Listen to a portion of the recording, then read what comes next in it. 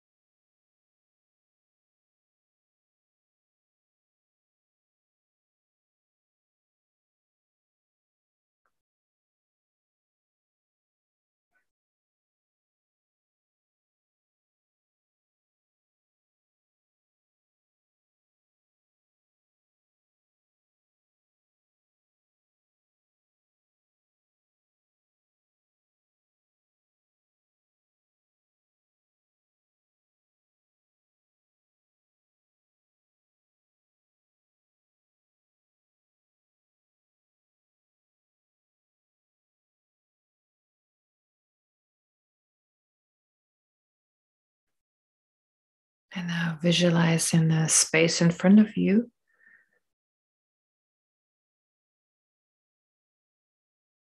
Buddha Shakyamuni, who's a manifestation of all the great qualities that we can attain.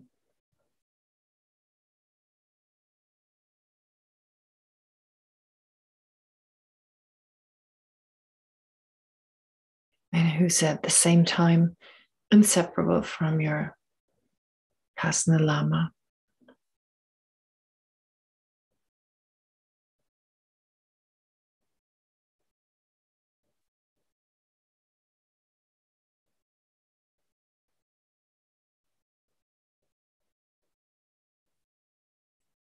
He appears in the form of a fully ordained monk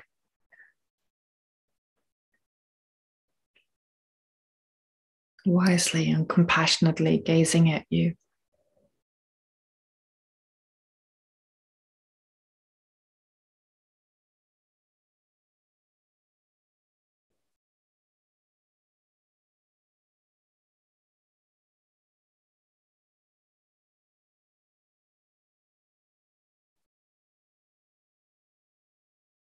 And then surrounding the Buddha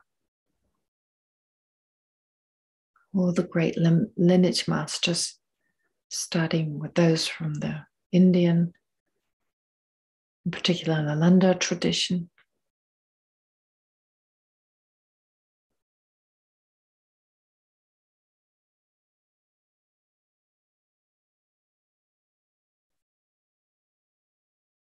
And then those of the Tibetan Buddhist tradition.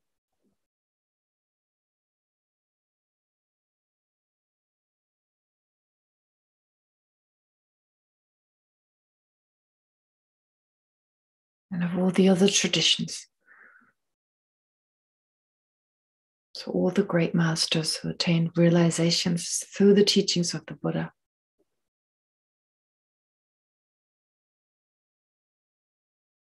Appear in the space in front of you, surrounding Buddha Shakyamuni.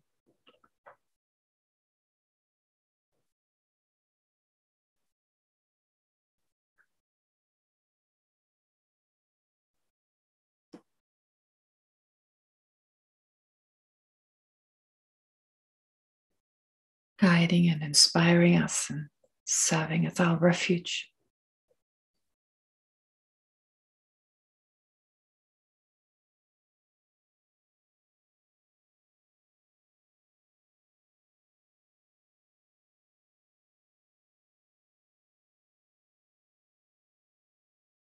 and of the same nature as your Lama.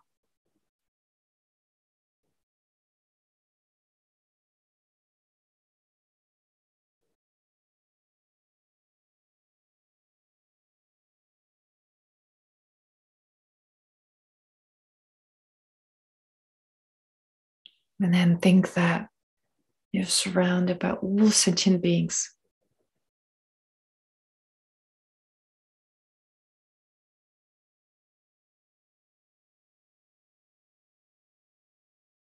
Quietly sitting all around you.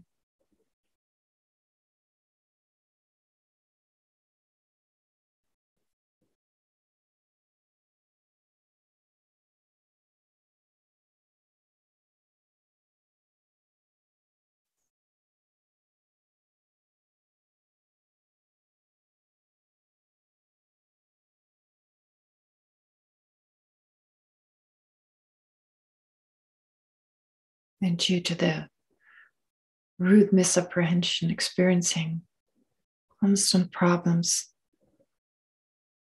sadness, fear.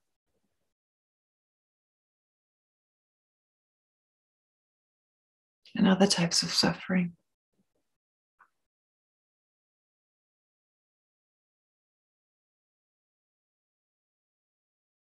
The mind's controlled by different types of afflictive emotions.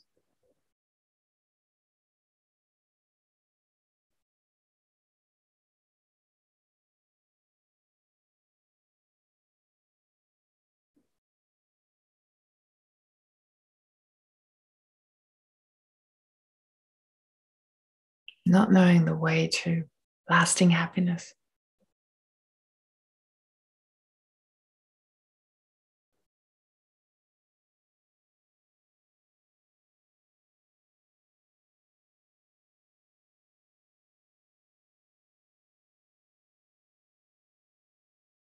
Who in the past, in previous lives, have been so kind to us.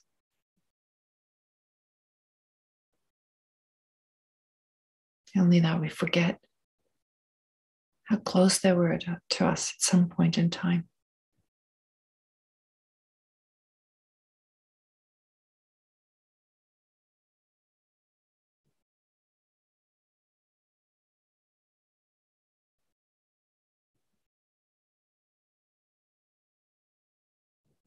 And just from the point of view of this life,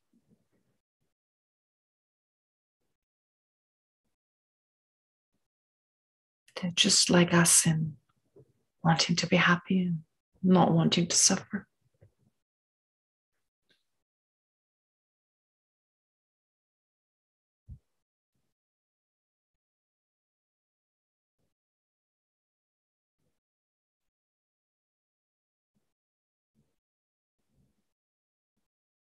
So let's first generate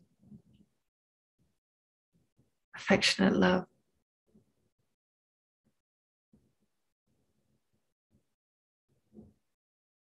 Sense of concern and closeness.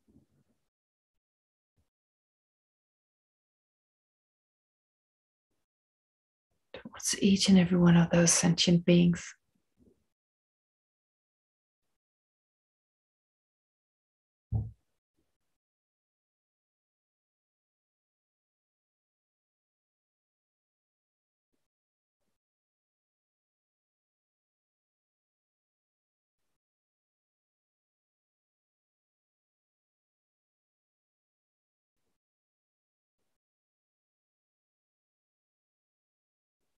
That love then gives way to great compassion.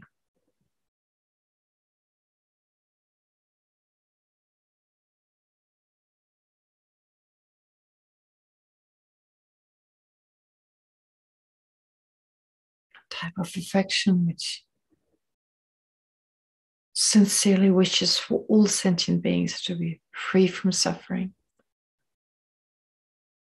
and wishes to help them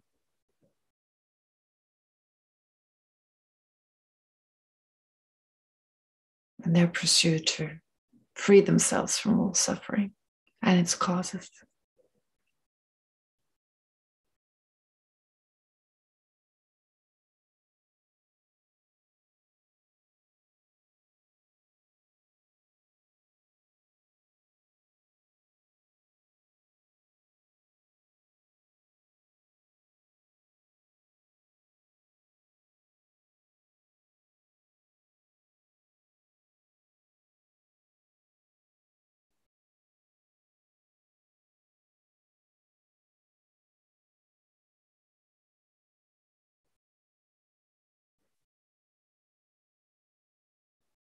And as great compassion grows stronger,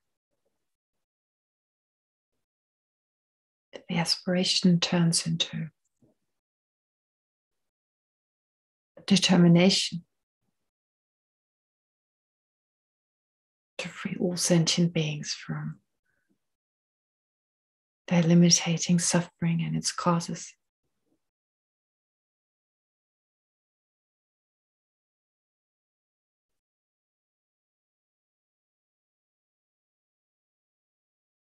To free them from whatever is in the way for them to attain liberation.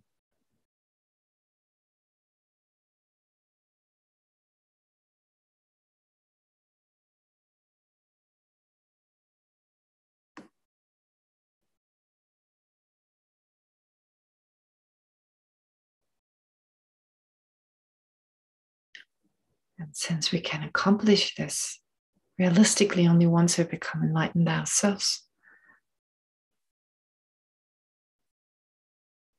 generate the mind of enlightenment, bodhicitta.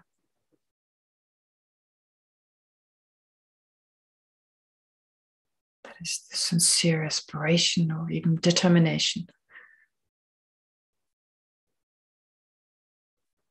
to become fully enlightened for the welfare of all sentient beings.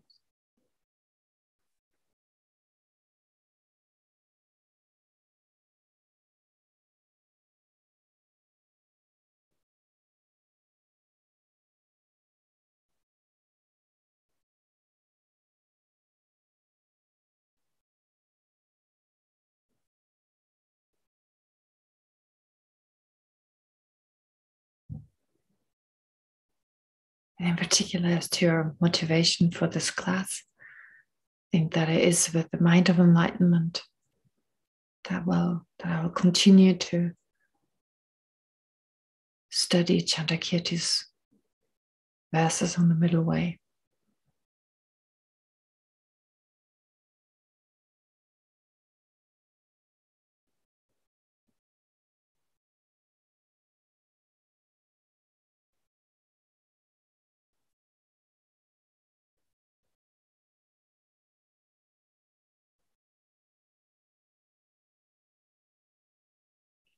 And without letting go of the mind of enlightenment, let's then recite the prayers.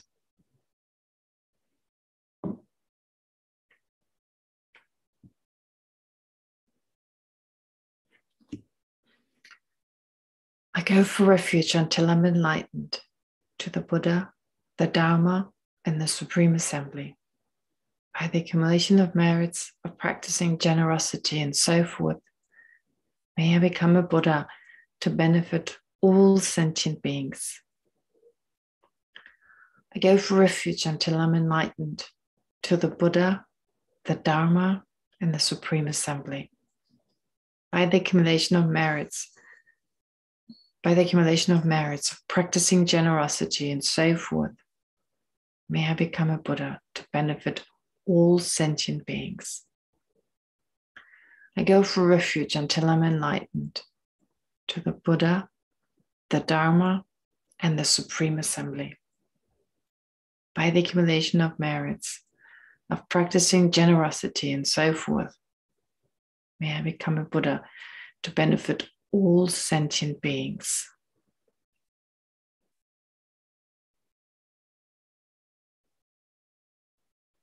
And then, particularly directed at all sentient beings surrounding us. May all sentient beings have happiness and the causes of happiness.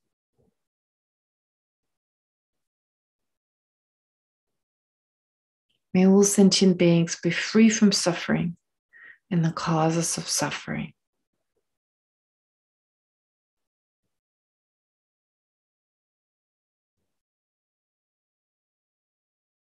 May all sentient beings never be separated from happiness that is free from suffering.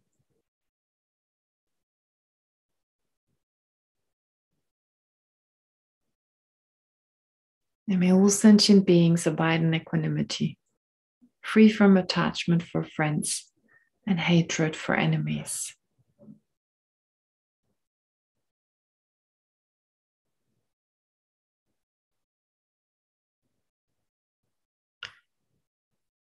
Reverently I prostrate with my body, speech, and mind.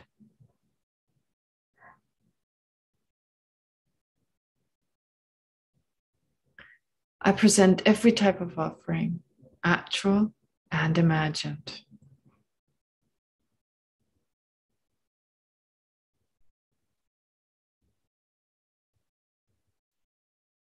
I declare all my negative actions accumulated since beginning this time.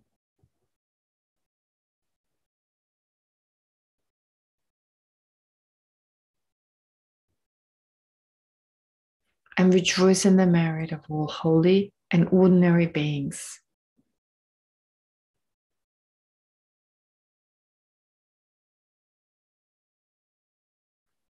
Please remain until the end of cyclic existence.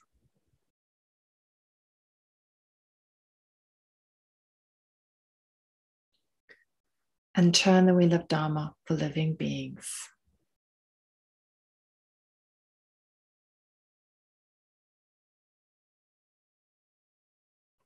I dedicate my own merits and those of others to the great enlightenment.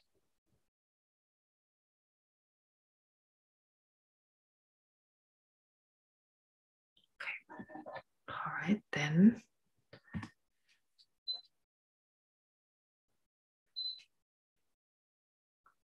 Well, this will be the last time I uh, stress the practice of equalizing and exchanging, in particular the exchanging part of this practice before we move on to the well the types of consciousness the types of mental factor that we actually also develop as part of the initial motivation that is affectionate love so, one more time, this exchanging ourselves with others, we've equalized. Uh, hopefully, we've attained a sense of uh, equanimity or equalizing that other sentient beings are equally important as we ourselves for our own well being. And on the conventional as well as on an ultimate level, there really isn't much of a difference between us. Well, definitely not on a on an ultimate level lacking inherent existence, and that's be- merely on the conventional level, well, based on I, others. Of course, it's only in relation to something that something becomes I versus others, and so forth. And of course, that we will want to be happy and not want to suffer. So, in that sense, um, having reflected on all that, and then we try and put ourselves into another person's shoes, like try to take on the place of another person and stop focusing just on our, on our own well-being, but even visualize going as far as trying to think what it's like for that person.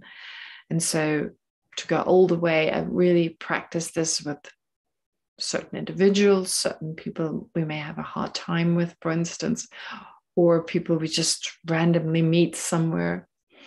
Or just if you can with all sentient beings to a certain degree of course all like simultaneously doesn't really work.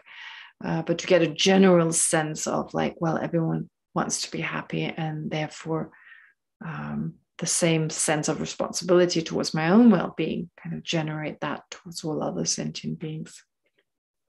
But for this week having done this for a week now, and maybe initially, uh, well, it took some getting used to, and it's not easy. But I guess after some time, what may happen is that the afflictive emotions, of course, come in.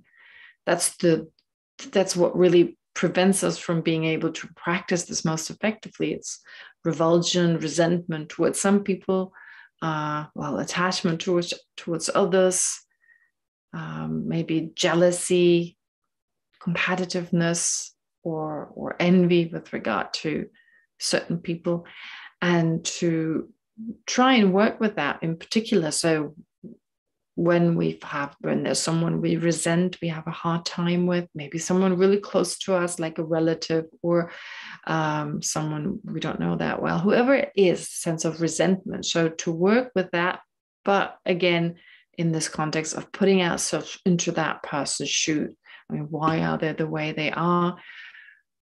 becoming aware, of course, first of our resentment, our dislike, and so forth. And then why does it bother me? Why? What is it about that person? And what are the possible causes for them reacting in that way? Am I just seeing it subjectively? Um, maybe even remembering, well, at some point they may have been extremely close to me in this life or in a past life, and they may be again really, really close to me in the future. Who knows? And they may even become enlightened before me and be extremely, due to our connection, become really important uh, for my own spiritual path and so forth. So none of what I've just said, none of those those aspects are fictitious. I mean, they're all possible. And so to reflect on that and work with this resentment without oppressing it, without allowing it to run freely, without indulging in it, but instead bringing it into this particular practice. Or if there's, um, I don't know, envy, for instance, someone's got something that we really like has a quality, has a possession, has a relationship, whatever, whatever, something that we resent the other person for having. And also remember, well, we're all the same, that however great the situation of another person seems, they're just as dissatisfied and constantly look for other happiness as we are. That's just because we've got self grasping, they've got self grasping, and that is the root for craving and therefore for dissatisfaction. So to remember that, that the grass always looks greener on the other side, but that in the end, uh, well, whatever what the others seem to have, they seem to maybe be much happier, and that's actually not the case unless temporarily there's some relief from something greater. So to remember that as well, but also put ourselves into their shoes and be aware they have afflictive emotions, they have misapprehensions just as ourselves.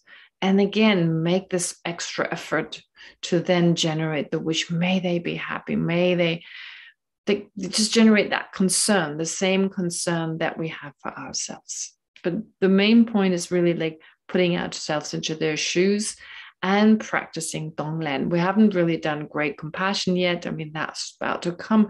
But anyway, just the wish for them to not suffer that's not great compassion yet anyway i mean what you wish others to be free from is more than just ordinary suffering so we can start off just wishing for other people to be free from suffering and combine it of course with some tonglen and tonglen the great the great advantage of this practice is easy to visualize so i've explained it last time it's easy enough to visualize to take on the suffering of others and give your happiness to others. And since we're always breathing, well, it can be easily combined with the breath.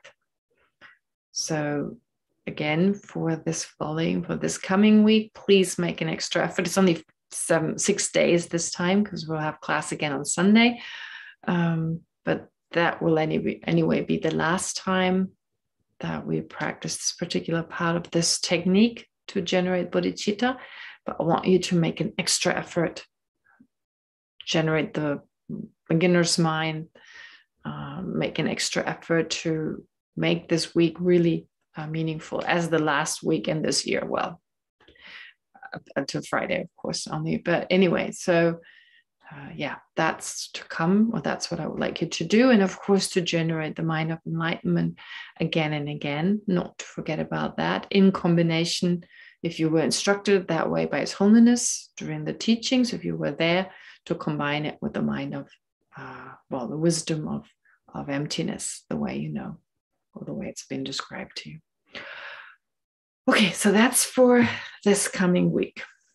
And then the summary, to return to the summary. Uh, well, it became obvious from last time that uh, you were not interested in me speeding through it, so I won't do it. Uh, I won't go through it as quickly as I did last time. And I thought answer some questions. Uh, well, some questions that I received I think it was about four emails I got or three. Um, there is a, a I don't know whether I should read it, um, but it's it's got this this statement. I think it's from Dalit, if I understand it correctly, and then with the little change from Edward, I think. Uh, so no, anyway, no, no, it's from Edward. Oh, it's from Edward. Oh, okay. Uh, Okay, okay, great. All right, thank you. So he, he says, and I think it's more than it's more a statement, I guess.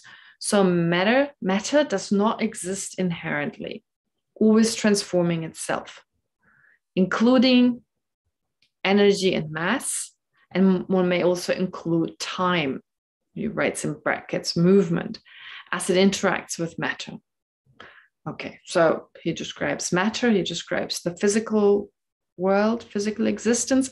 And then it goes on, oh, it's a, it's a question. So wouldn't then the separation between body and mind be as artificial as the definition of matter separating between mass and energy or any other subclassification? So wouldn't the separation, this this is matter, this is a body, this is physical, this is matter on one hand, and then this is the mind, this is mental, wouldn't that separation be as artificial Okay, so the question, of course, is what do you mean with artificial?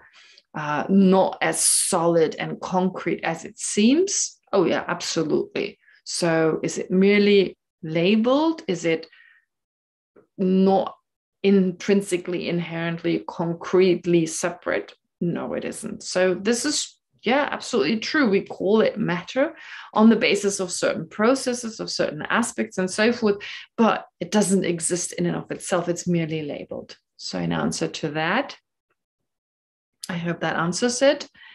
And anyway, there's also something, a question from Tao Seti. I hope I pronounce it correctly. Um, he wrote like a longer question. And in there, I don't want to read the whole thing because it's quite long, but he does something really interesting. He, well, first of all, he wants to ask a geshe, and that's separate. That's how it's he starts his question that he asked when you engage in analysis and you don't find anything, is that correct? You don't find any, and the, the, analysis we do, of course, not just any analysis, but the analysis we do in the context of the, the sevenfold analysis, like how does something exist as a self or as a car and so forth? What makes it a car? And so the way we've done it in the past. So if you don't find anything, is that correct? And he says the answer, as far as I remember, is that the siddhis, the accomplishments, the, the attainments, actually, the siddhis are the accomplishments that you attain when you meditate, that those are real. He says real, uh, well, in the sense of that's what he understood. I mean, I suppose he means like inherently or something existent or more real. Well, actually, according to my understanding, they lack inherent existence in the same way you wouldn't be able to find the siddhis either. You wouldn't be able, when engaging in this analysis, what you do when you analyze something, you always and an, analyze automatically. That's just the nature of this type of analysis, something to exist in and of itself. And there's nothing that can be found. But what I said previously was something that interesting that he does, and there's this whole explanation that I don't need to go into. He's trying to explain like how does the self exist. He talks about a process and um, consciousness versus self and so forth. And he's asking, what is the seed? Not S E E D seed, so, but seat S E A T, so the seat of consciousness. So he calls it the seat of consciousness. Another word that we could use is the basis or the foundation of consciousness. What is it? Sorry, of, of the of the self, not of consciousness, of the self. So what is that basis of of, of the self? And I, I I think this question is really interesting. Uh, so, oh, yes, question is actually after all this explanation. He says, My question is Does Chandrakirti give any points in his work where he refutes the seat of the self in the process? Uh, what do I get wrong? Where is where is this mistake when I find the self as a process in the analysis? Oh, he, he compares the self with like a process, like a it looks at it as a process but seems to ask for this basis. So I'm saying interesting in the sense that we usually look for some basis. I mean, the non-Buddhists did that.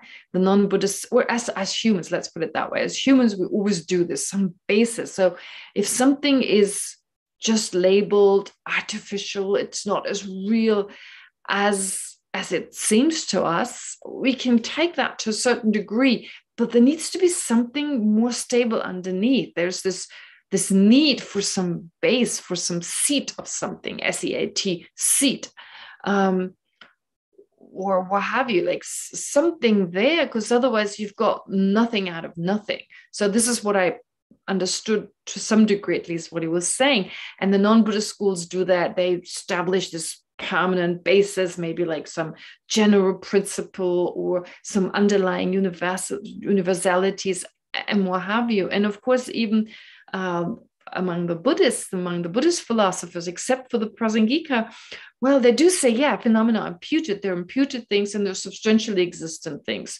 So imputed in the way, yeah, we call this a vase, we call this a car, etc. But there must be some substantial essence, some essence, some substantially existent car, something substantially existent must be there. So the car we perceive, yeah, that's just labeled, but underneath it, there must be something that is substantially more real. Or with a person, there's the imputed person and there's the substantial person. There's that which you will find when you analyze the, the imputed person.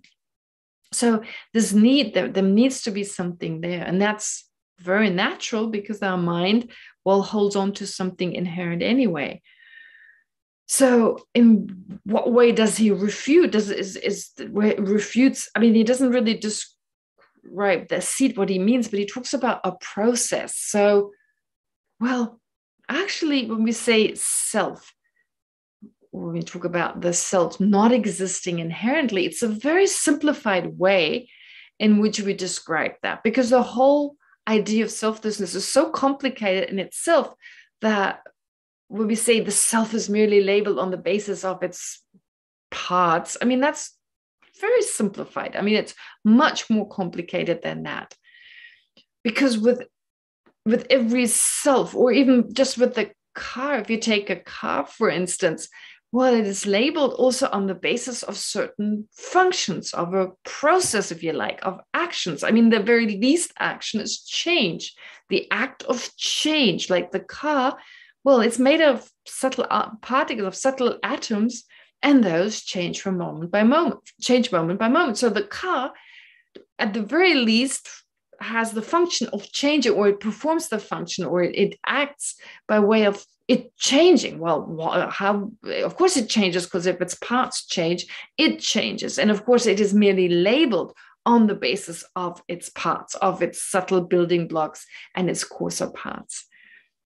And so, really, what it is is this dynamic, these dynamic things that go through a process, at least the process of change and other processes. And based on that, on the basis of those processes, those functions, those parts, constituents, and so forth, we label ka.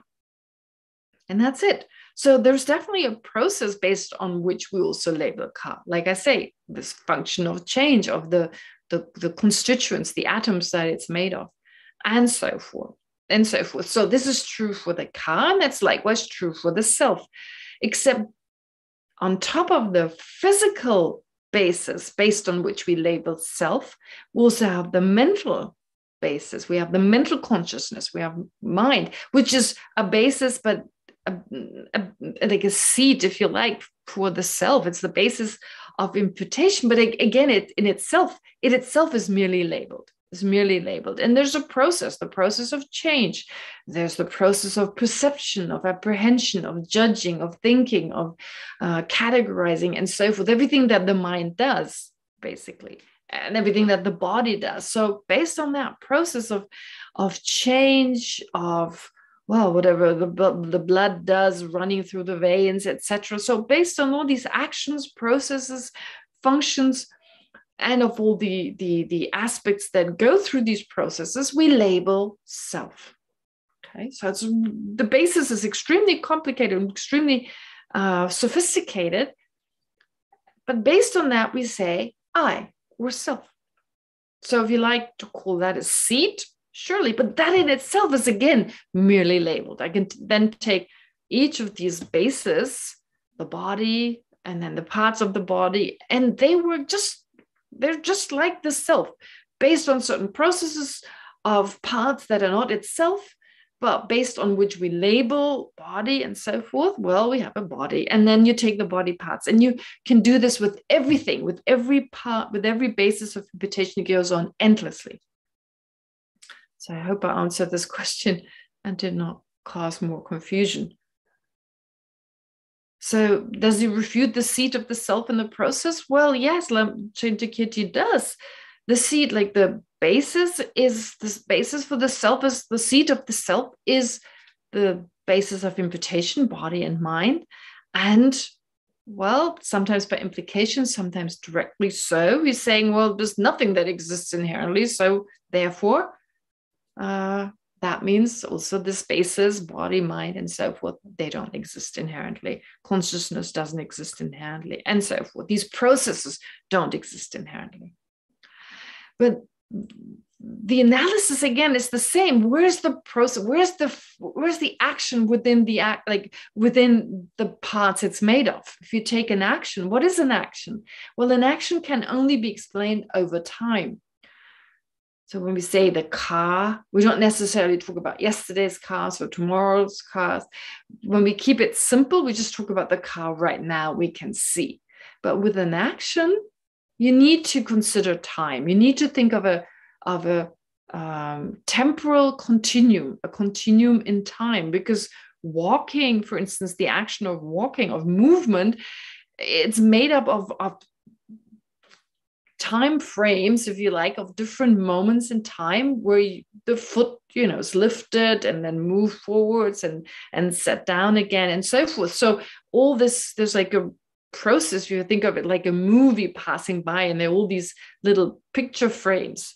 Um, so it's a bit like that. It's made up of all these moments when you walk, like movie frames, like parts of a movie, like these little photographic I don't know, there's these photographs that you have, and when you when you play them, then you see this this movement. So likewise in daily life, we have these moments, or in doing any kind of actions, you have these moments.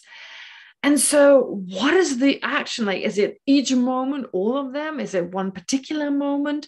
Uh, each moment all of them together that wouldn't work because like in existing in one moment together or at a different moment. So when you start analyzing that action starts disappearing.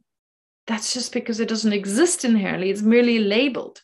So when you analyze you you you go beyond mere convention. Oh based on certain moments i label such and such. No if you start analyzing you're analyzing something very concrete, and that can't be found. You're analyzing the way it appears to us. Okay. All right. I hope I've answered this to some degree. I, I, remember there was something else I wanted to say, but I don't remember right now. I may remember as we continue. Yeah. So that's, I hope, process here. Again, like I said, process means really just a function, and actions, functions are very similar. Anyway, we'll hopefully get do more of this uh, as part of the summary. Um, and then I believe there's one more question.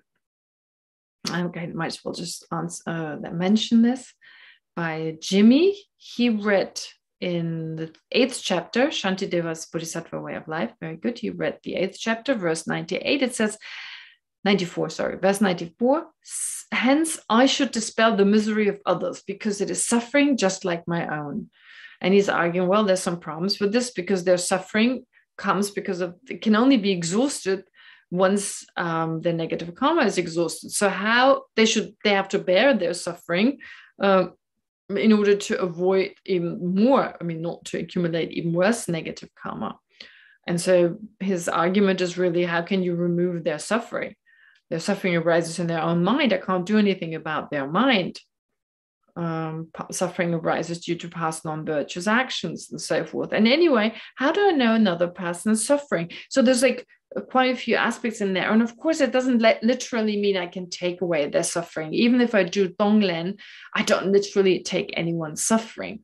so that doesn't happen. That is just for my own mind, a simplified version of what I hope to do one day, and at least get ready to take on that responsibility uh, through this visualization.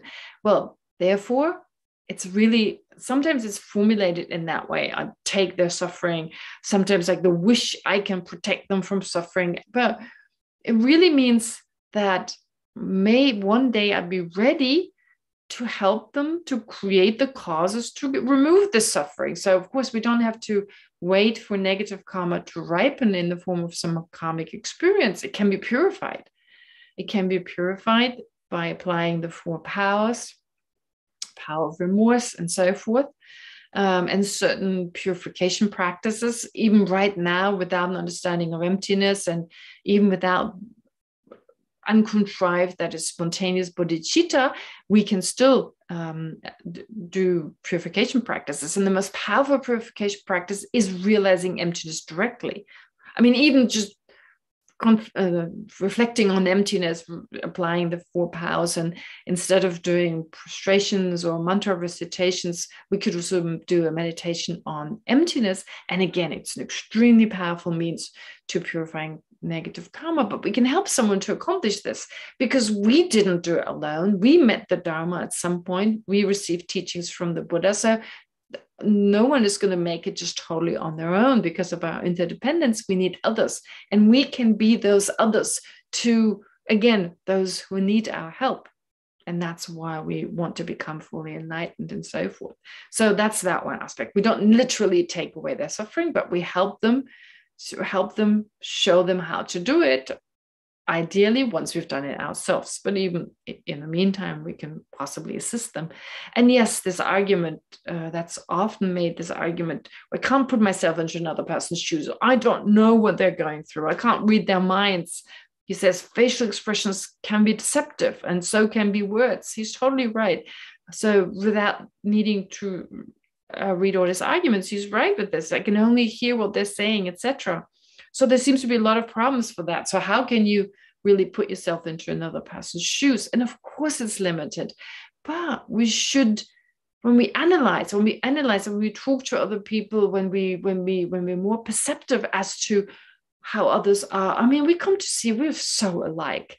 The differences between us are outweighed by what we have in common with others.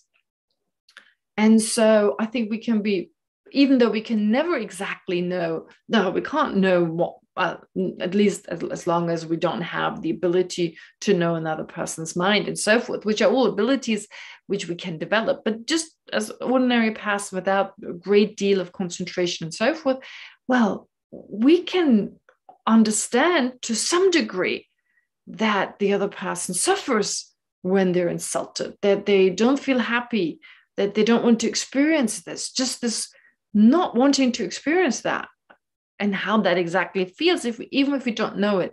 But the knowledge we have the limited knowledge we have is sufficient to generate uh, the type of compassion the type of care that we need. And of course to generate at some point bodhicitta to then to then work towards a state where we can know exactly how it feels for others. Yeah so what we can know i think is sufficient and of course, we continuously work on that to make it stronger. And I mean, we know in our everyday life, I mean, like a, a mother, for instance, like when you're really close to your child and you know this child really well, and you know exactly what to do in a certain situation to release their suffering. You know, I mean, that what they're going through to relieve their suffering, you know that in that moment. So that shows the knowledge that a mother, as an example, has in that situation is sufficient to know what to do to help that child. And that's just an example. There are lots of other examples. But our problem is that we're so concerned with ourselves all the time. We just need to spend more time uh, putting ourselves into the shoes of others, right? And then more time, of course, then eventually to generate great compassion and so forth. All right, that's it. Those are the questions um, I received. And then to go back to the summary. All right, now uh, the, the, the verses I, I went through last time, I'll just say a word, a word or two about these verses very quickly, just for you not to lose sight of what we're doing. And then I'll continue with the ordinary summary. Okay, so so we started off with just explaining why selflessness of person, of course, is important. In what way is it relevant? All our trouble comes from not understanding it. All right. And then, of course, the next step would be what is this self? What is this I? If this is our trouble, if this is a troublemaker, eh, eh, at least on the basis of the existent I, apprehending the I in a certain way, if that in a certain mistaken way, if that is the the reason for all our suffering, well, then let's look at the way we apprehend the I in that mistaken way, the way we perceive of ourselves, and check whether such a self, a self we cherish so much, uh, a, a self our whole life revolves around, whether that actually exists. And so we have the analysis does it exist separate from mind and body? It does appear as kind of kind of separate. But really this kind of kind of separate doesn't work if it exists inherently. Either it's totally separate or it's not but you can't have something in between. So for that inherent i if it's totally separate well the way the non-buddhist some of the non-buddhist philosophers for instance describe it even as permanent as this permanent entity well that certainly doesn't work as as permanent but you sh- as implied by these verses also you should be able to find it. There should be something separate from mind and body you find. And anyway how can you refer to i i have a headache when my when my head hurts if it's totally separate from mind and body? So i wouldn't age i wouldn't get sick i wouldn't be miserable because it's got nothing to do with my mind and body so it exists in that separate way. So that doesn't work. Then, of course, we had about, well, about eight verses, the idea, the self, the self and the, the, the body, sorry, yeah, the self and mind and body, they're all one. If they're not separate, the other option would be that the I is one with mind and body, is one with the aggregates. That's the other option.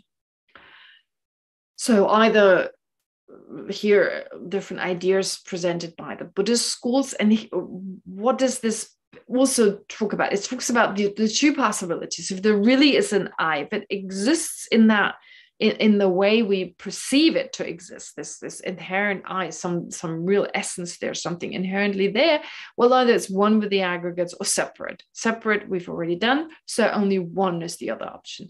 Now, this analysis now, how what would be the absurdity if the I were to exist as one with the aggregates? That is described in the context of certain uh, Buddhist schools who said, and I spoke about it before, they do say, well, there's this imputed I, all right, so certainly they have a sense, and it's the definition, the definition of person.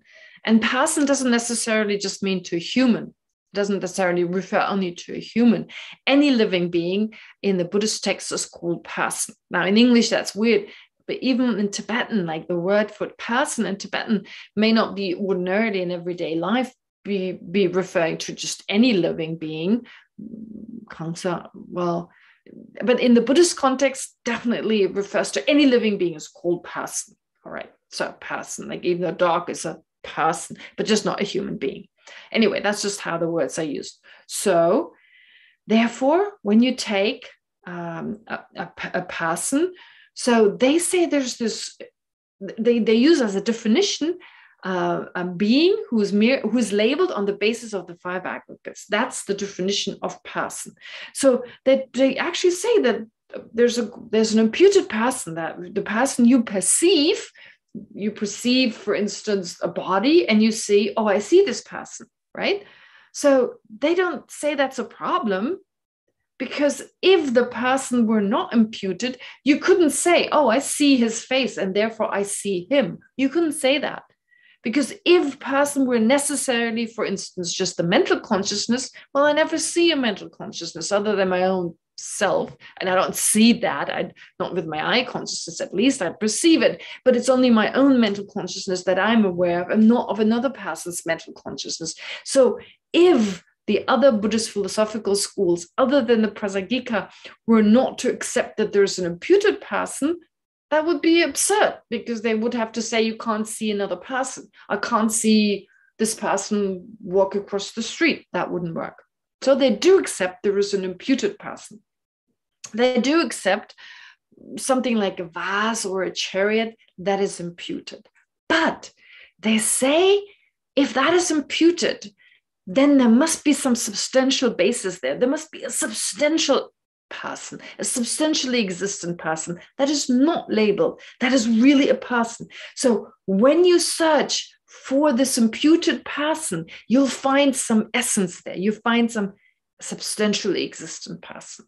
Okay, so that is that is the basis for now analyzing the next verses where you, you analyze the person now existing as one with the aggregates, but based exactly on that view, on that view that there is a person, there's really an, an essential person there.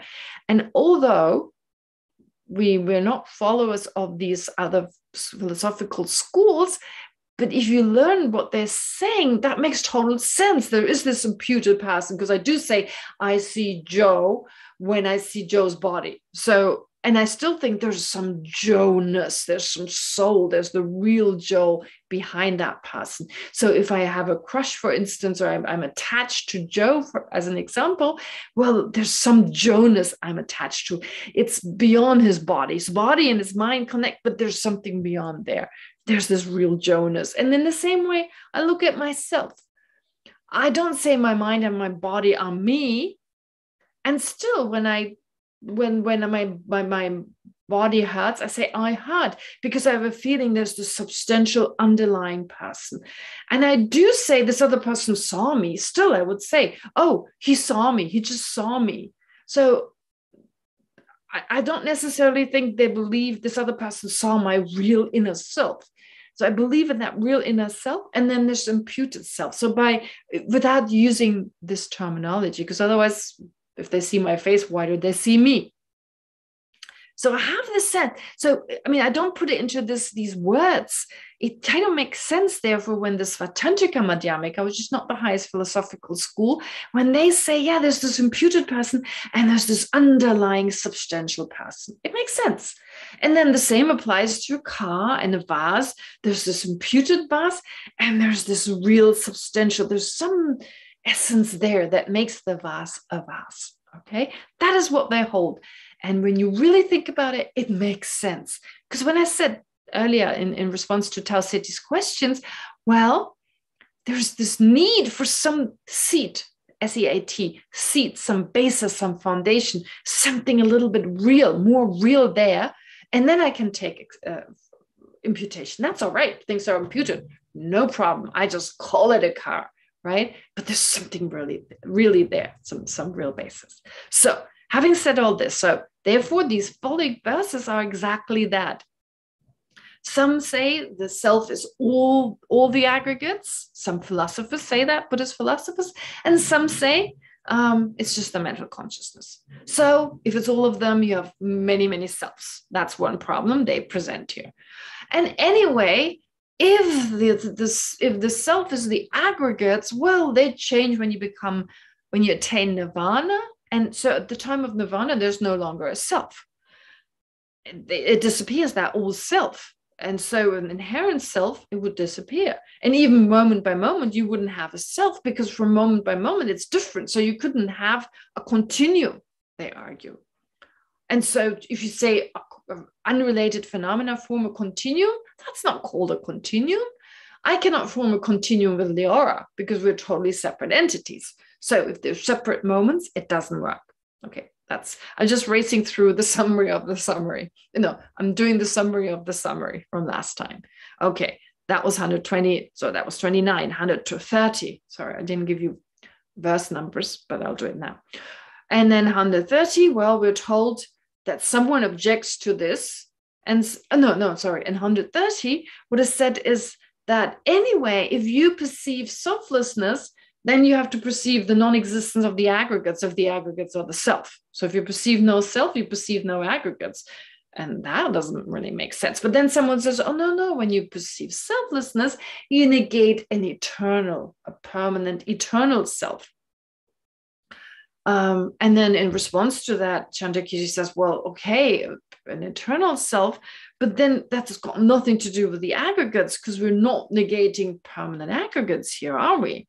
And anyway, if you perceive the lack of an internal kind of self, well, then how do you and you and you don't realize anything in response in, in relation to the aggregates because it's certainly not a permanent not permanent aggregates we're we're uh, refuting when we realize selflessness. So we don't eliminate real attachment and other afflictive emotion in relation to the aggregates. So that doesn't seem right. Anyway there's just this kind of a little bit uh, complicated discussion verse 130 131 and so forth Anyway, then in 132, we're told, well, but actually, the opponent argues the Buddha said that there's no self that exists separate from the aggregates, or, or in other words, the, the, Buddha actually says that um, that the aggregates. No, sorry. The, the Buddha said that the aggregates are the self. Sorry, the Buddha himself said the aggregates are the self. He himself has argued that way um, in in certain sutras. But in response to that, of course, Chandrakirti says, no, no, no, he didn't argue. He didn't say the self were the aggregates. He just said the self doesn't exist separate from the aggregates. That is different. Um, so that's 132, 133. And then we have a few verses, 134, uh, starting with 134, where, where Chandrakirti tells us, well, anyway, if we look at the aggregates, um, not being the person. So, in, in terms of this argument, a really uh, important argument is that the collection of the aggregates is not the person, because that's really the tendency we have is to think it's the collection.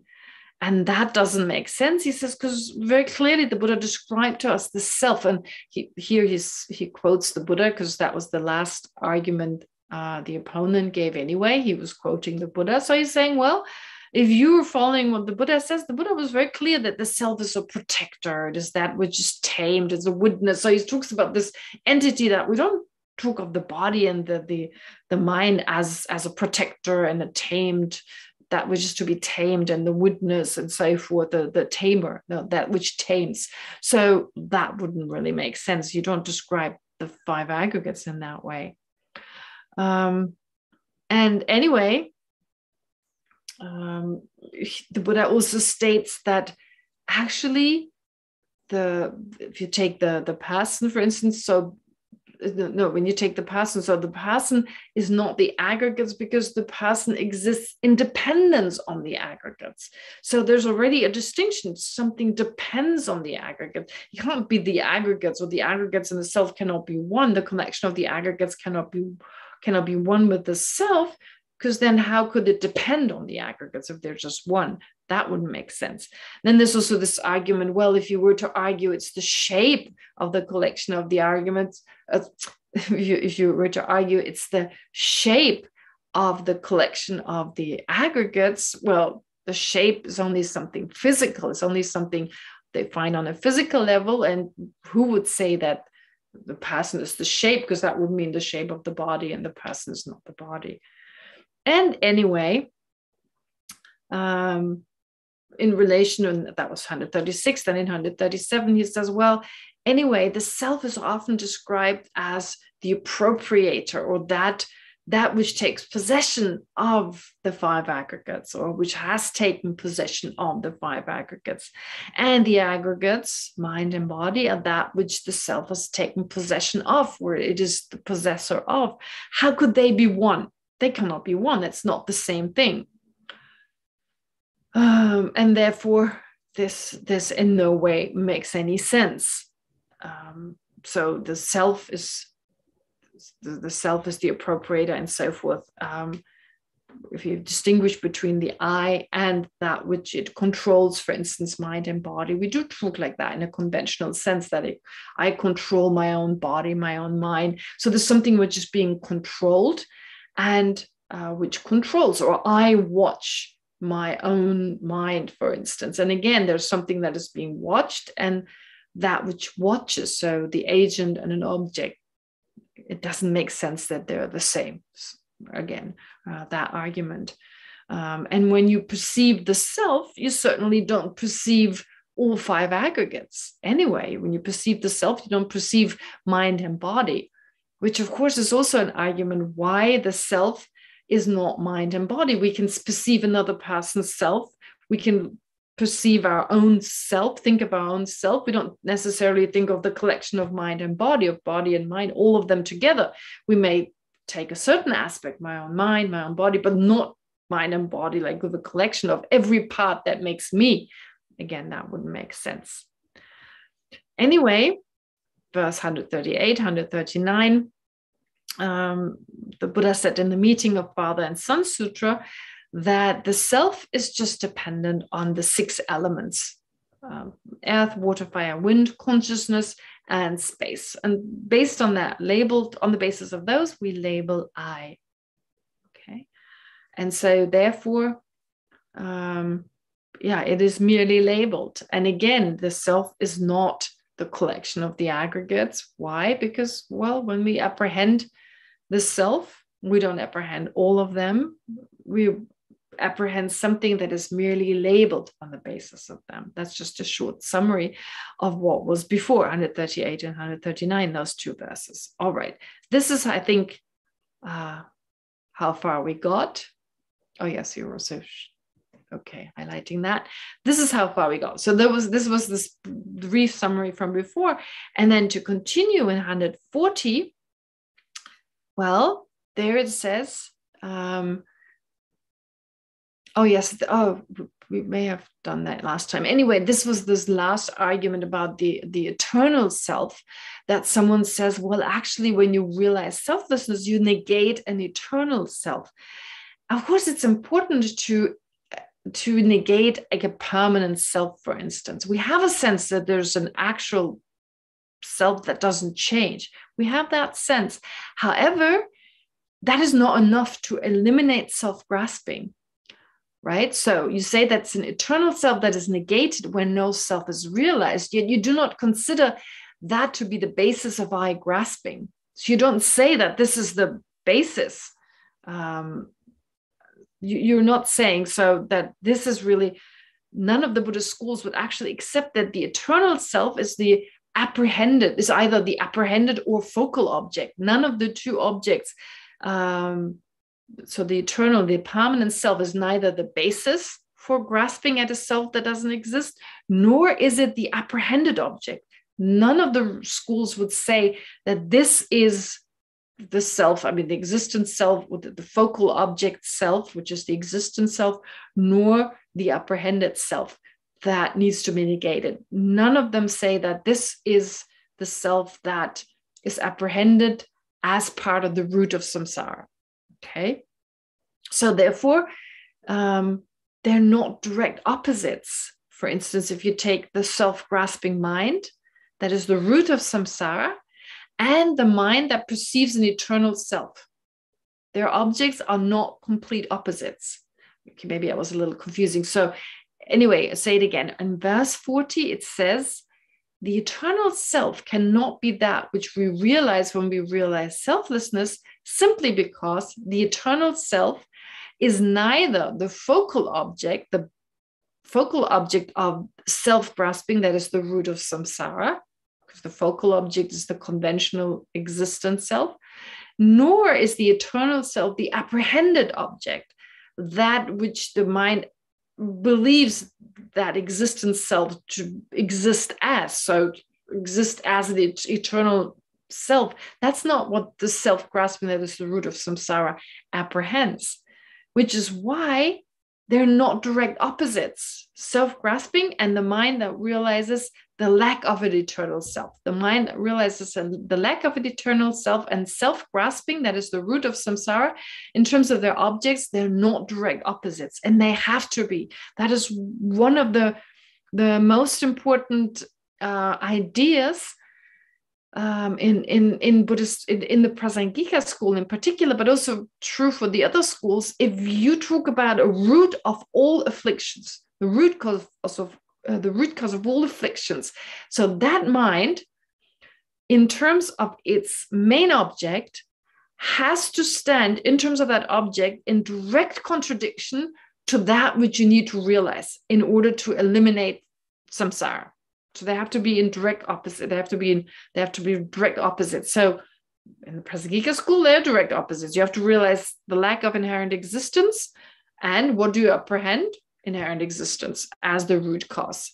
Okay, but if you still claim in 141, it says if you still claim in order to eliminate the root of samsara, you don't need to realize the opposite of that which the self-grasping mind apprehends. Well, that that's ridiculous because that would be like um, that would be like if you if there's someone um, um, like who's who's afraid uh, like a man's fear that there's a snake in the cracks of his of the walls of his house in order to eliminate the fear of that person. If you were to tell this person there's no elephant in the house well that would be ridiculous because the knowledge of there being no no elephant in his house does not get rid of the fear of the presence of the snake all right? So in the same way the knowledge that there's no eternal self does not eliminate our innate self grasping okay.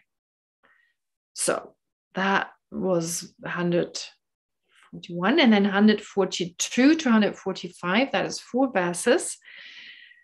Um, those four verses what do they deal with? Well they explain that with regard to, the previous analysis so the previous analysis was the self doesn't exist as one with the aggregates not as separate from the aggregates it's not the collection it's not the shape so these four aspects were briefly addressed. They will be addressed again, but briefly, um, we had an, a, reason was given for why none of those four extremes make sense. But then the three more extremes left, according to Chandrakirti, who does this fourfold, sevenfold analysis, so where seven extremes are refuted. And so what comes next uh, is that now what is shown now is that the the self the way it appears to us, the inherent self does not depend on the aggregates, nor do the aggregates depend on it. And the inherent I does not possess the aggregates. So those are three positions that have to be um, eliminated here or have to be refuted. Three extremes. So the first extreme, an inherent self does not exist in the aggregates. That's what it says in verse uh, 142. The self does not exist in the aggregates. So that means the self does not depend on the aggregates. Here, the word exist in the aggregates is the same as saying the self does not depend on the aggregates. And we are talking about an inherent self. That's important. The self as it appears to us. That's that's the whole way through. How it actually exists will be explained in the end. But in the beginning, it's just the I, the way it appears to us. Let's look for it. It does not exist in the aggregates in the way that it would depend on the aggregates. Likewise, the aggregates, they do not depend on the self. So the aggregates do not exist in the self. Okay? Aggregates do not exist in the self. Um, because that would mean that they're totally separate.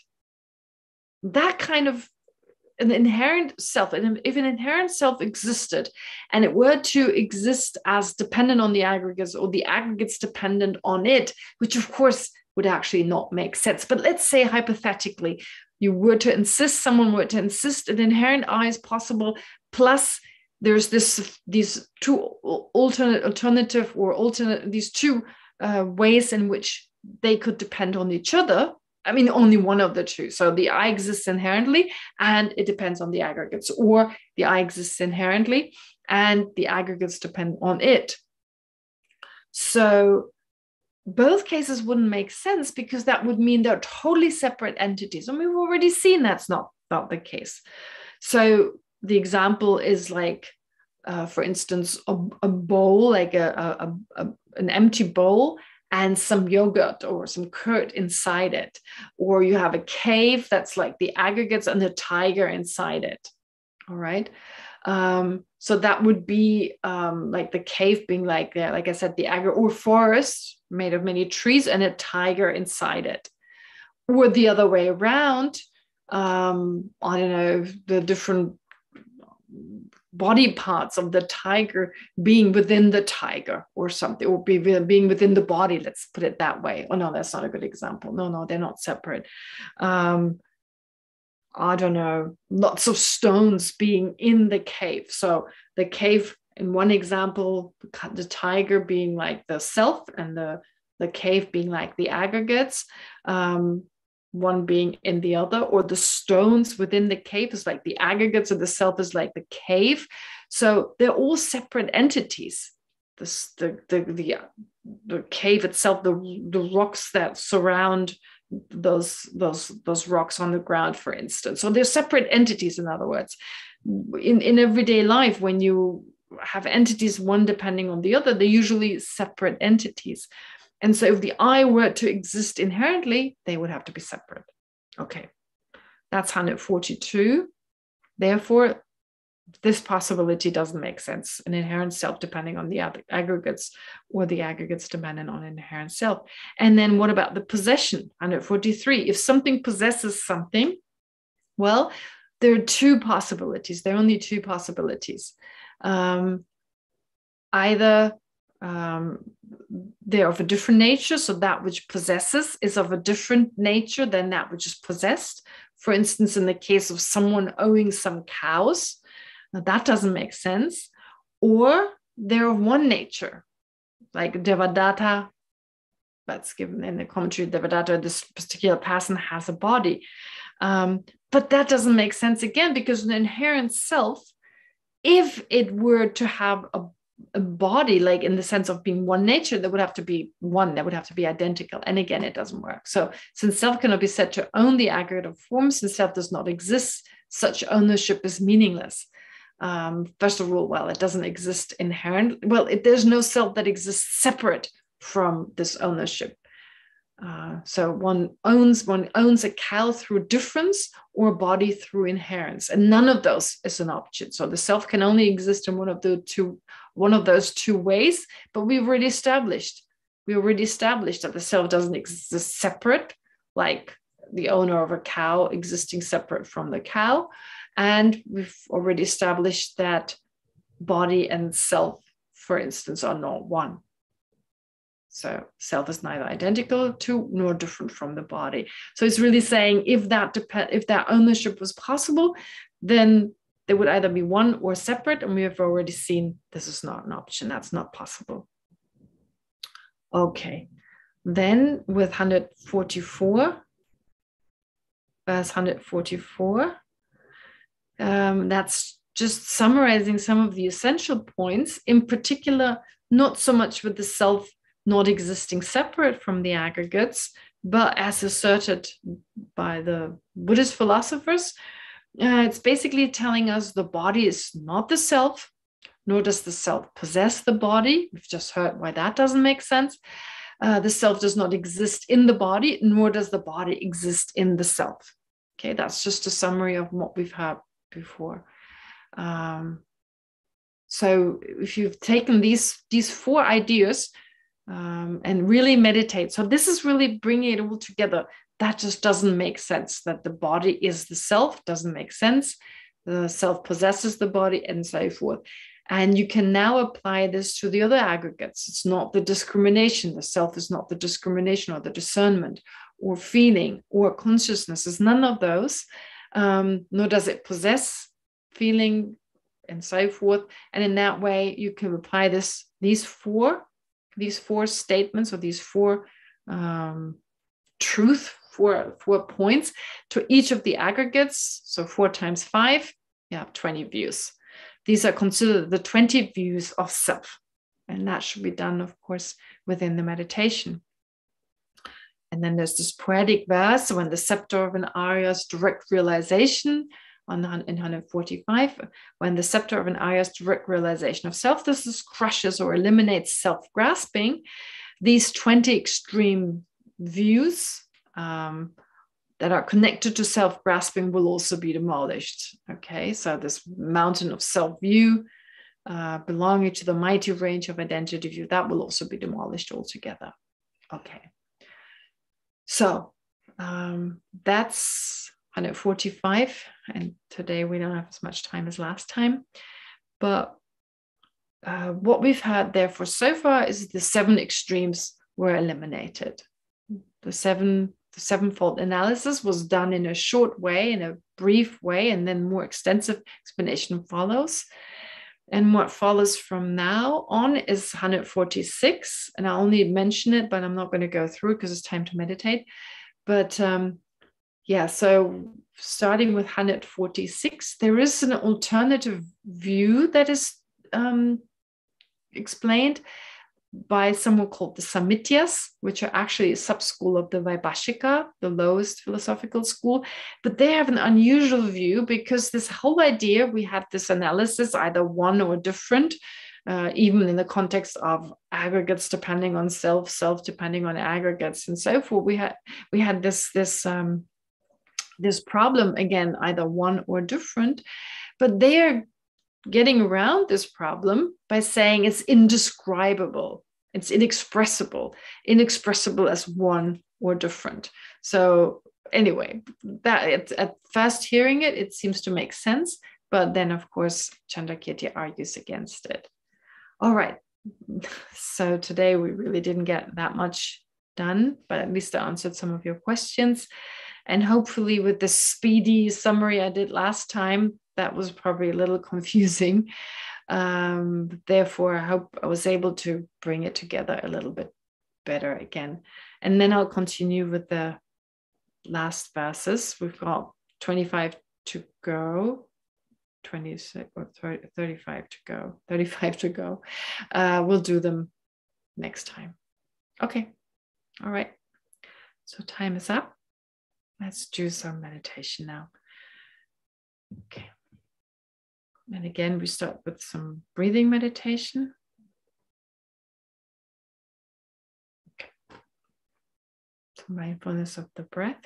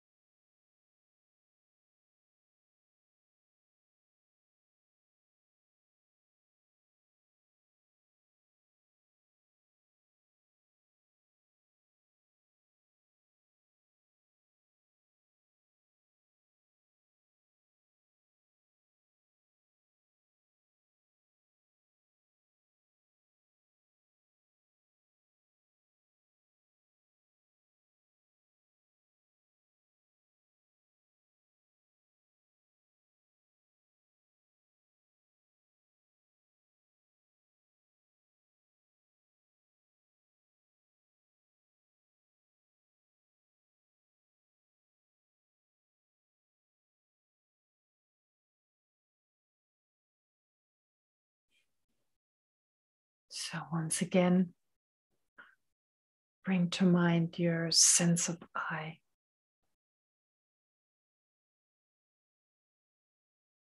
In particular, your sense of I when you feel upset.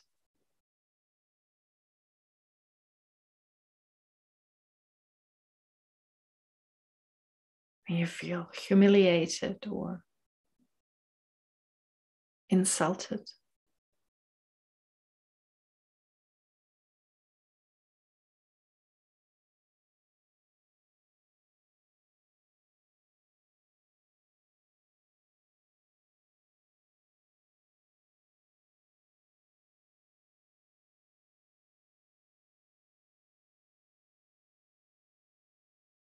Or you're embarrassed.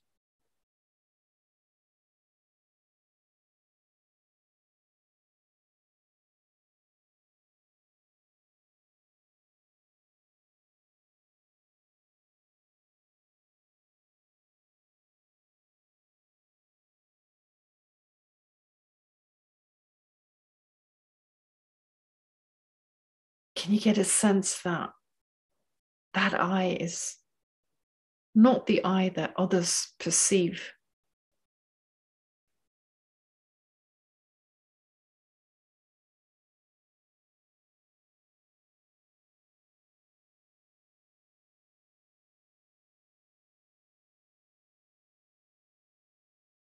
That there is an imputed I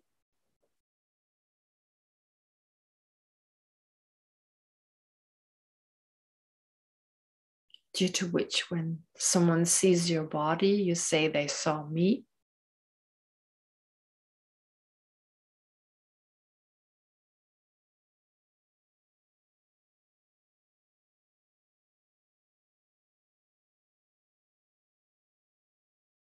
and that there is real I, non imputed, substantial, inherent I.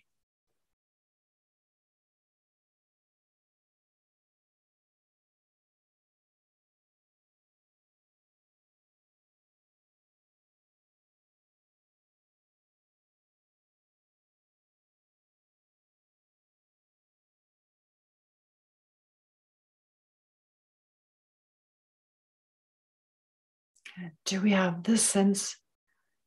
This is also true for another person.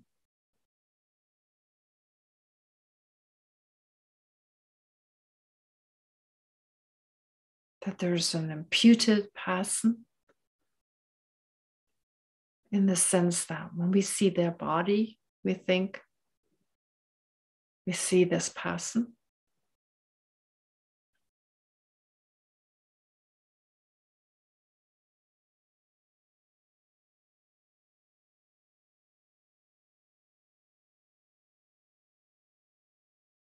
And that there's still some deeper person, some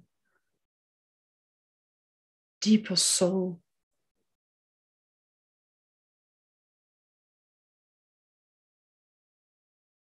That exists within their mind and body.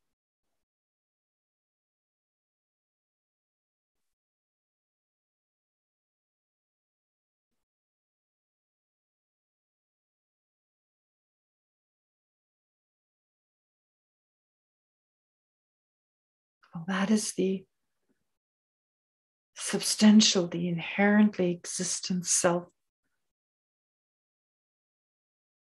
which we believe is findable, which our mind holds on to as findable.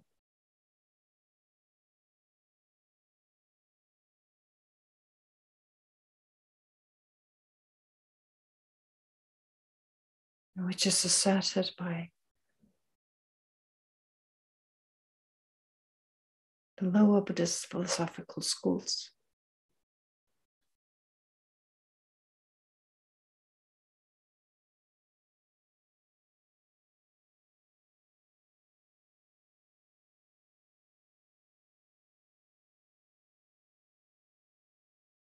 So take a moment to remember why cannot exist separate from mind and body.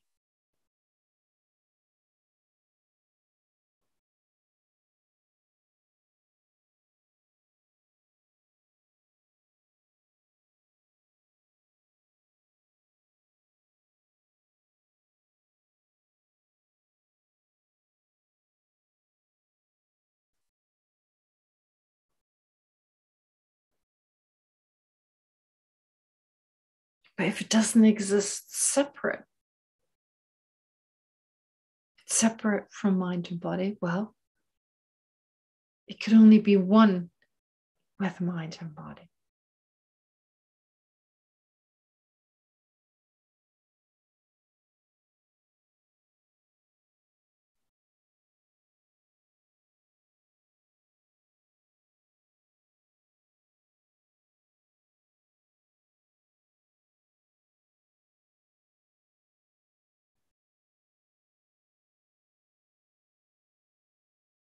What's the problem with that?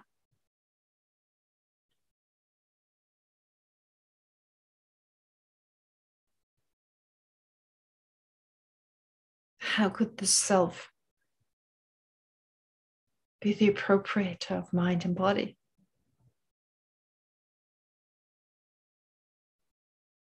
If they are not separate.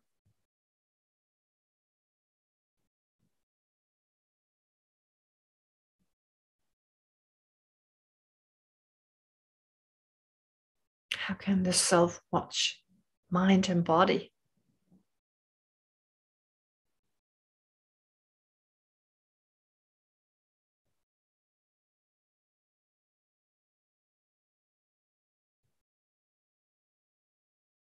If the self is mind and body,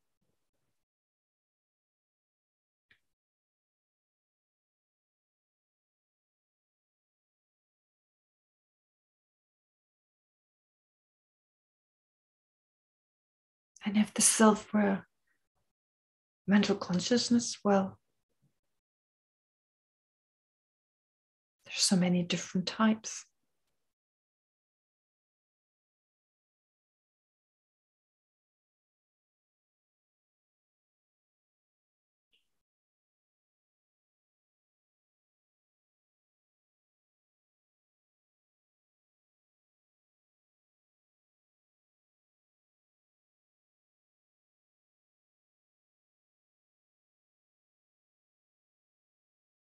And also, if the inherent I existed,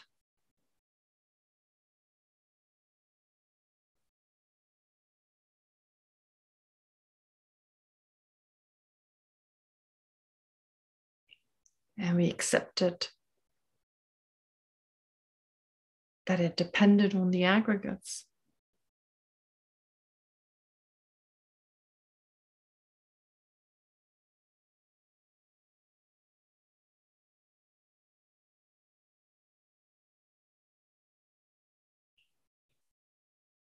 Wouldn't they be totally separate?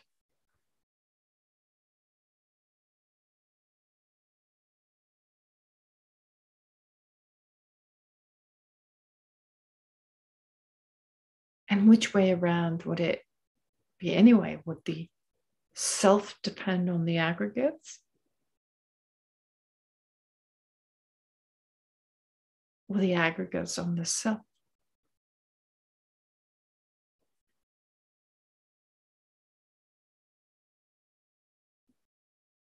Would the self exist in the aggregates or the aggregates in the self?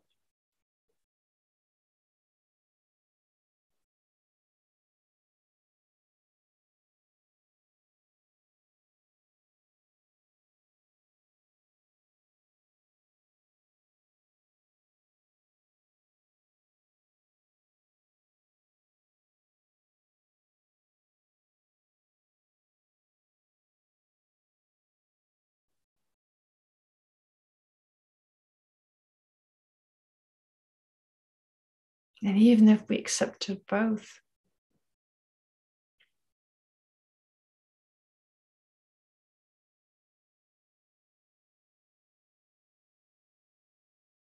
the problem would be self and aggregates would be separate.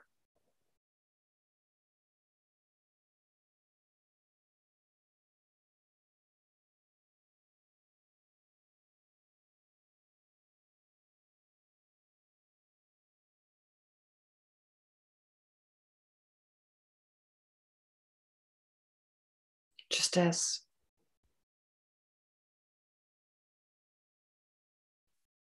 the trees are separate from the tiger within it.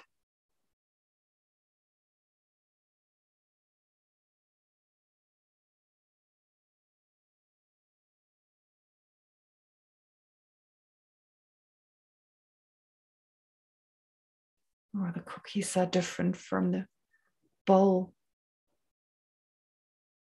in which they lie.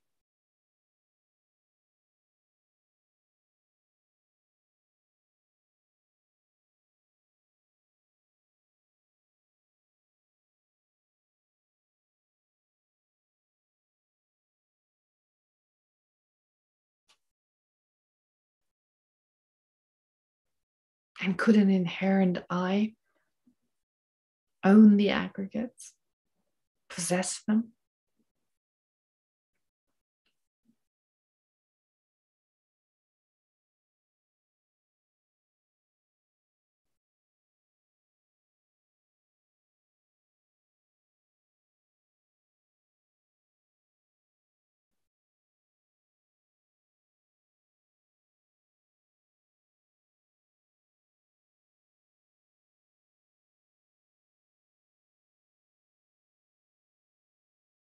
well when it comes to ownership.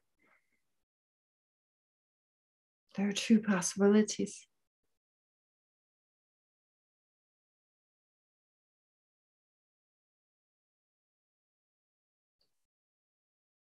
Either a farmer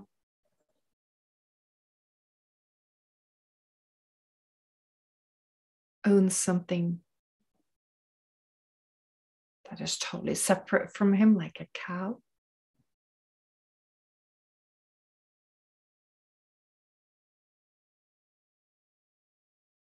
Or a farmer owns something that is same nature as him, like a body, like his body.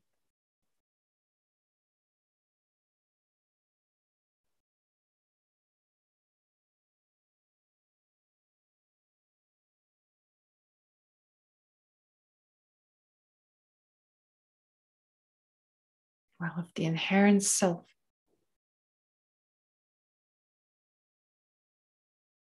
owned its body the way a farmer owns his cow, the self will be totally separate from body again.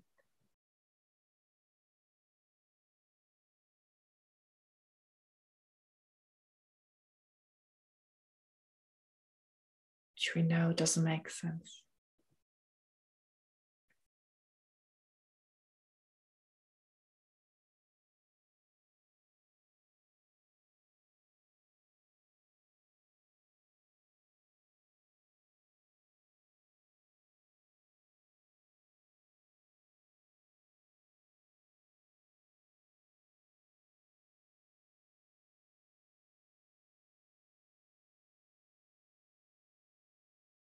And in the alternative case, a farmer owning, owning his body.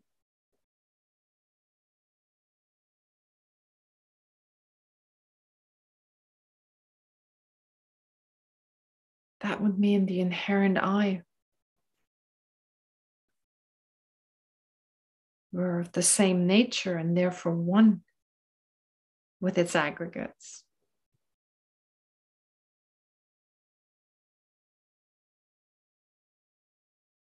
Which again doesn't make sense.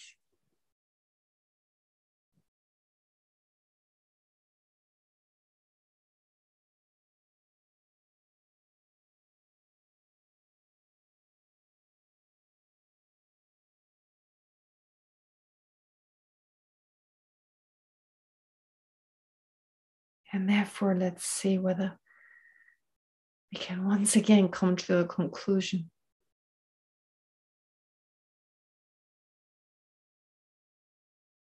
This I, as we receive of, that we worry about,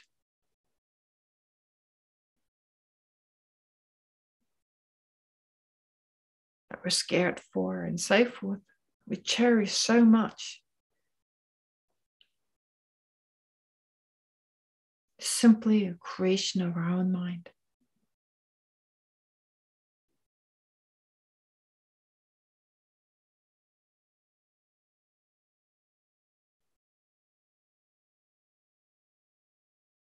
And real freedom means to let go.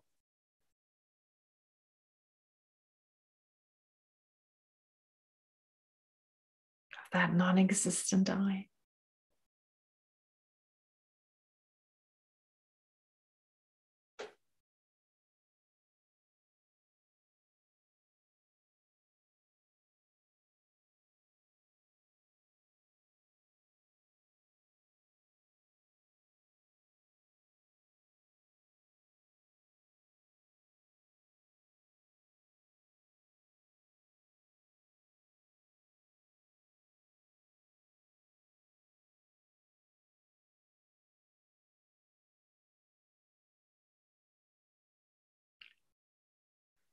And now at the very end, whatever feeling has arisen, whatever insight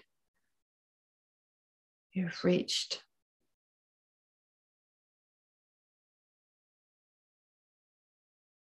apply a single point of concentration to further internalize that.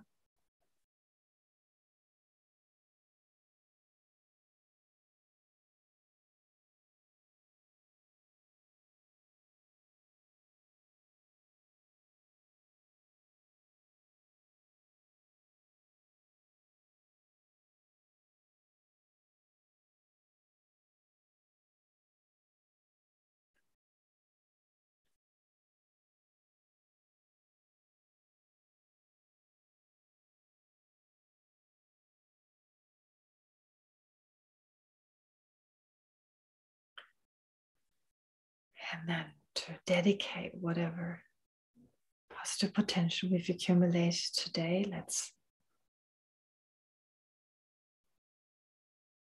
first dedicate it towards our own enlightenment thinking, may this virtue become a cause for us to completely purify our mind, to transform it into the enlightened state of a Buddha for the welfare of all sentient beings.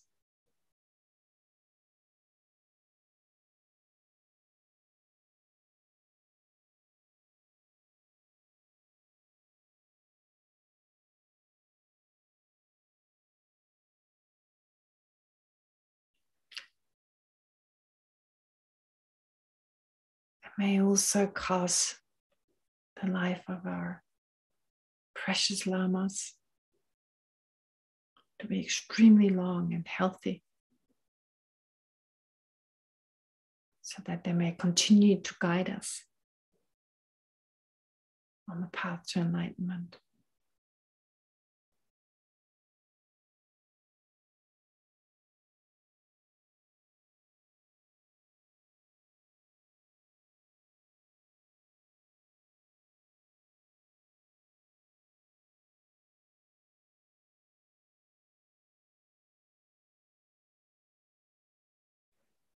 And may also this virtue we accumulated, may it create more peace, peace of mind for those beings around us, help them to,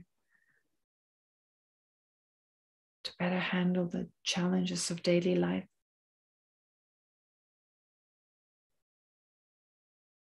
Help those who are sick, like Tali Lubin, to recover soon.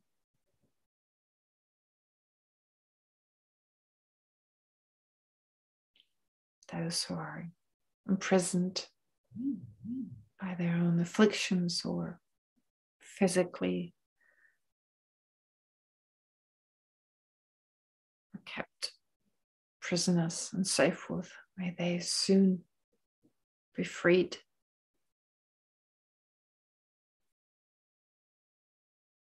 Physically and mentally.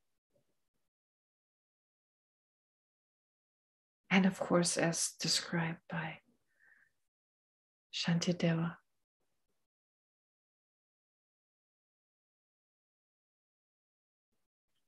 May all beings everywhere, plagued by sufferings of body and mind, obtain an ocean of happiness and joy by virtue of my merits.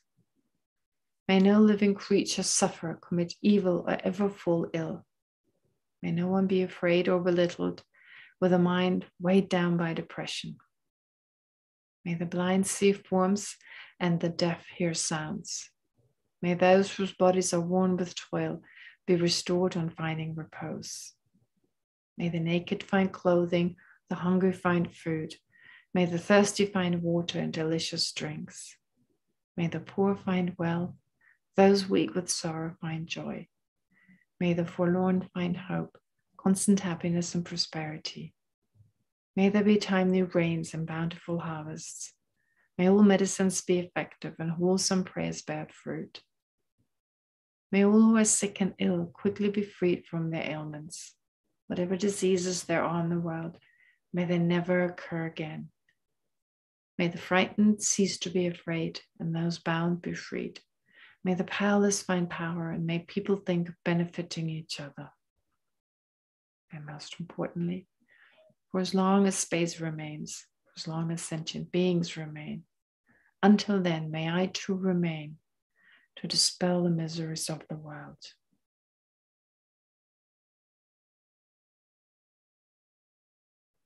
Okay, great, thank you. And all that's left, just to remind you once again, uh, to focus on exchanging not just equalizing, but mainly exchanging self with others uh, in the way we described it to watch your own afflictions, your own afflictive emotions as they prevent you from doing so effectively.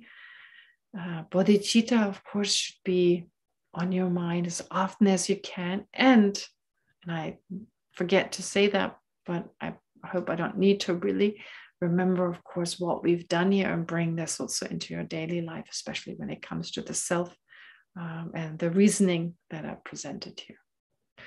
All right, then all that's left is to wish you a good week. Be well, be healthy, and uh, I see you again next Sunday. Okay. Have a happy new year, everybody. Oh, yeah. Happy New Year. See you next year. See you next year. Bye. Bye. Thank you, Bye. Geshema. Bye bye.